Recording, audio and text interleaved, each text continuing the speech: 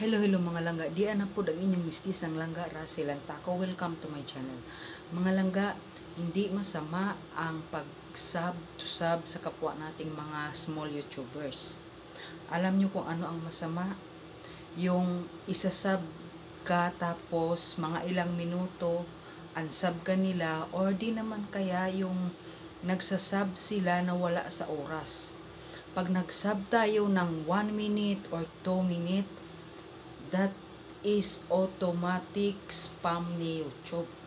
So, ang pinaka-sure mga langga na mag-subs tayo or comment tayo, kailangan uh, panoorin muna natin ang video ng uh, mula 3 minutes to 4 minutes pataas. Yun ay talagang sure na sure mga langga. Pero yung sasabihin mong uh, magwa-watch muna ng 1 minute or 2 minute, nako, siguraduhin mo, sasabihin mo na may nag-unsub sa'yo. Yan ay uh, automatic spam. Sa spam mapupunta yung subs natin. So, sayang lang mga langga, di ba? Nakakapangit pa kamo ng channel yon Tapos, uh, yung iba masyadong nagmamadali. Halimbawa, eh, kagaya niyan, simula 3 minutes nga kailangan, ganun para counted kay YouTube. Pero kung 1 minute, tapos sabay 1 minute na nga lang, uh, nag-fast forward ka pa. Sabay, nag-fast forward ka, tapos sabay nag-unsub ka pa. Yun ang pinakamasama doon. So, okay lang yun para sa akin dahil hindi ako ang nag-unsub. So, ikaw ang may record kay YouTube. Na ganun. So, ngayon mga langga, para hindi tayo mapahamak, hindi mawala yung channel natin, gawin natin ang tama, mag-subs tayo ng tama, mag-like, comment, or uh, with bell tayo ng tama para counted yung ating subscribe sa ating mga kagayang mga small YouTubers.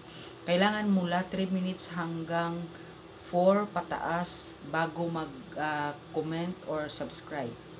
Pero kung uh, nagmamadali ka, subs uh, nag-subscribe ka kaagad, wala, hindi counted kay YouTube. Spam ang iyong like, comment, walang mapupuntahan yun. Kaya sa mga ginagawa mo na ganun, nangyayari din sa'yo. Kaya magre-reklamo ka na, ay, inansab ako. Pangit doon uh, ayoko na doon sa group na yun kasi ang daming nag-unsub sa akin. Kasi lahat sila nag-subscribe nga sa iyo pero ang ginawa nagmadali. Uh, fast forward nila yung minutes, kunyari in-screenshot ng ganon, pwede naman gawin yon. Tapos sabay sinend sa'yo na ganon na para sabihin mong napanood nila.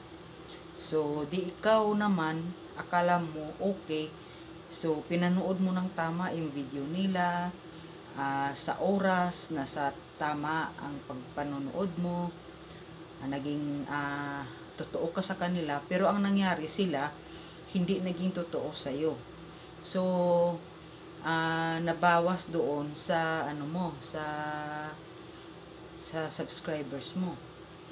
Imbis na pataas ang subscribers mo, pababa dahil ang mga nag-subscribe sa iyo uh, nag-unsubs or na automatic spam ni YouTube. Ganun yun.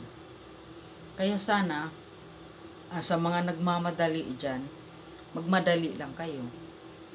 Kasi imbis na tataas yung mga subscribers nyo, hindi. Dahil sa pagmamadali nyo, marami kayong uh, record na hindi maganda, spam. Eh, mangyayari din yun sa inyo. Imbis na nagmamadali kayo, uh, babagal. 'Di ba? Ang dami-dami ko nakikita ang post. Ah, para lang to sa mga ano, legit ah. ah kailangan permanent. Ganito, ganyan. May mga nagsasabi pa na kung uh, hindi ka legit, wag ka nang mag-subs dito. Umalis ka dito sa group na to. May mga ganung ano, effect, di ba? Pero hindi mo alam kung yung nagsasabi ng ganun, kung tama yung ginagawa eh. Di ba? Kaya mga langga, sana uh, gagawin natin ang tama yung pag-subscribe sa mga kagaya natin, mga small YouTubers. Diyos ko, nagmapadali ka bang kumita? Kung yun ang iniisip mo, wala tayong mapapala. Wala kang mapapala sa channel mo. ba? Isipin mo yung kita kung na-monetize ka na. Kasi, once na monetize ka, kakayod ka pa bago ka kumita. Yun ang isipin mo. Pero kung hindi ka pa na-monetize, wag mo muna isipin yung kita. 'Di ba? Ang gagawin mo, dapat masaya ka muna sa ginagawa mo. Hindi yung masyado ka nagmamadali na masubscribes ka. Ah, tapos, ganun ang ginagawa mo sa iba. 'Di ba? Masyado kang nagmamadali na kumita. Masyado kang nagmamadali na ma makumplito mo yung requirements ni YouTube. Pag nakumplito mo yan lang ga, hindi mo pa alam kung mamonetize ka kaagad. So halimbawa kung mamonetize ka na, kakayod ka pa bago ka kumita. So wag unahin ang ano, wag unahin yung kita. Iniisip agad ang kita eh. Ayusin mo muna. 'Di ba? Gawin muna sa tama yung pag-subscribes mo sa mga kagaya mong small YouTubers. Hindi pa tayo parehong kumikita or hindi pa lahat na monetize ganun. Tapos yun na yung ginagawa mo.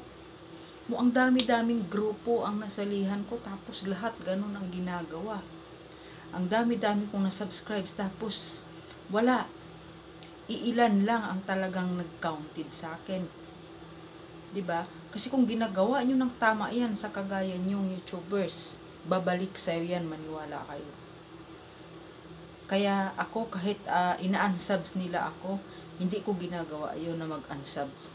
Kahit kailan simula't simula kaya mga langga uh, gagawin natin ng tama ang pag-subscribe sa mga kagaya natin.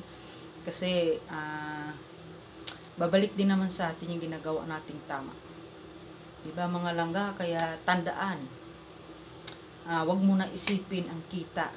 Uh, isipin muna natin na maging masaya tayo sa mga ginagawa natin. At sana, uh, ayusin yung hmm, mga ginagawa sa channel nyo. Bala kayo dyan. Kayo din, hindi kayo mamonetize agad.